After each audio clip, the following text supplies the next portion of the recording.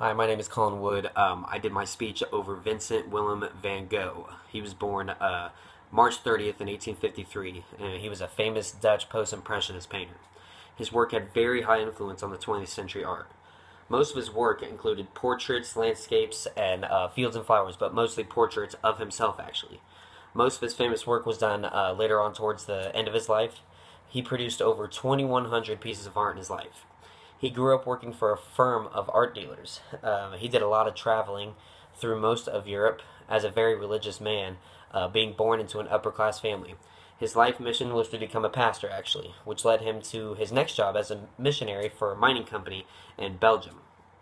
That's where he produced his first famous uh, piece of art, which was the Potato Eaters. Uh, he then moved to Paris and then moved again south of France. You'll find out through um, this speech that he moved a lot when he was younger and into his older age. Um, in Paris, or in south of France, uh, it's where he met the biggest influence was found. Uh, he found beautiful and strong sunlight there. This was in 1888. Um, but let's take our focus back to his early life. As a child, uh, Vincent van Gogh was a silent, keep to himself kind of kid. Uh, he was born in a village close to Breda, which is in the, the Netherlands. Uh, he outlived all of his siblings. Uh, Vincent was given the name uh, from his grandfather, actually. Art was in his blood. Uh, his grandfather's also named Vincent, had six sons. Three of them became very good art dealers.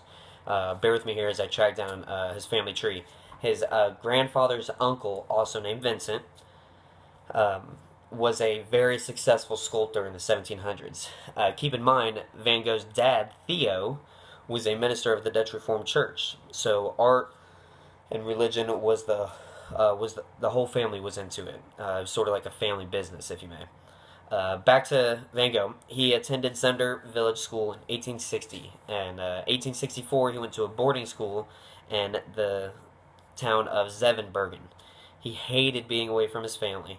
After moving from school to school, from job to job, he was taught many, uh, or he ended up at a new school in Tilburg. Uh, at that school, he was taught in uh, many different varieties of art uh, by a successful artist named Constantine C. Huysmans. I may be pronouncing that wrong, I'm not sure. Uh, this is when his interest in art uh, peaked. By the age of 20, with the help of his uncle Sint, he was working for an art dealer um, bear with me, Goupil and Sy and The Hague. Vincent was very happy and um, he was also making a lot more money than his dad at this job. Many of his family members are quoted saying that this was the happiest years of his life. That is where he also found love. Uh, his landladies, where he lived, the person who owned the, the place, her daughter had Van Gogh's heart from the beginning. But when he um, but when he told her about his secret adulation towards her, she shot him down. And he became very depressed about it and started questioning art as a whole as to why art makes him feel sort of ways and, you know, started thinking maybe it's sort of fake. Um, so later on down the line of his life, after jumping around jobs and schools and women, he landed in uh, uh, the town of Etten, living with his parents and continued drawing, actually. After becoming close to a family member named Kee, his cousin, he spent many hours with her. Uh, he actually ended up trying to propose to her, uh, but she shut him down in a non-friendly way. She was quoted saying, uh, "No, no way, never." Actually, and uh, and then she left town.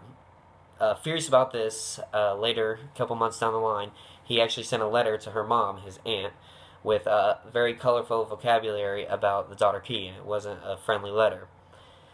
Um, he ended up moving along different uh, different places and everything. Moved out of his parents' house again um, to Paris, uh, where his work started to become more known and attractive to the art community. He worked closely with impressionist works in Paris at the time. Uh, he made his name there working with a famous guy named Signac. They were sort of partners in crime, if you may. Uh, finally, Van Gogh moved to Arles, uh, hoping for a safe and healthy place because while all this was happening, he developed a drinking problem and along with a smoking problem. Uh, everyone's quote, a lot of people are quoted saying he had a bad smoker's cough. After Van Gogh died, they had talked a uh, talked to a lady that used to work at a shop owned by his uncle, and that he would go in and buy art supplies from. Uh, she described him as very ugly, smelly, impolite, dirty, and uh, you know, uh, describing a homeless person pretty much. Uh, Van Gogh suffered from what we call nowadays writer's block. Uh, he was having hallucination and uh, fits of despair. Uh, a few months later, after uh, realizing he had a serious problem, he decided to um, the only thing to do was to commit suicide, and he shot himself in the chest. Now there are many different thoughts and theories as to what and why he did it.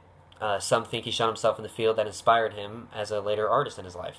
Others think it was near a barn at the inn nearby. What actually happened is he shot himself in the chest and it went past his ribs and it didn't hit any organs, so he didn't die. So he ended up taking himself to the doctors, well, the hospital, and uh, two physicians cared for him, but there was no surgeon on stand, so they couldn't really take the bullet out. So um, they had to wait for a surgeon for a while, actually. And in that time, his brother Theo, or his dad Theo, and his brother Vincent showed up at the hospital and um, noted saying that he looked very healthy and very fine. So um, it ended up him dying later from infections since the bullet couldn't be taken out. He ended up dying from infections. Um, there's much debate over the years about his illness and if it had an effect on his work uh, so many different diagnoses from psychiatrists and uh, psychiatrics and doctors, uh, ranging from schizophrenia to syphilis to diabetes to epilepsy. Uh, to this day, doctors and psychiatrists don't know. Um, Vincent Van Gogh, uh, he, he would strive to make sure his emotional and spiritual uh, state in each um, in each of his artworks was portrayed and that's why he's so that's why he's so well known. He actually only sold one painting while he was alive. Um, Van Gogh's dedication to the inner spirituality of man and uh, nature led to like a good style and content, resulting in a lot of people liking him. He was very relatable. Um, his, people related to him so much that because he was so um, mentally unstable and he was still so successful as a painter and in life uh, being both a pastor and uh, an artist. Um, and that's why he is the why he's a very very famous painter and drawer to this day. Thank you.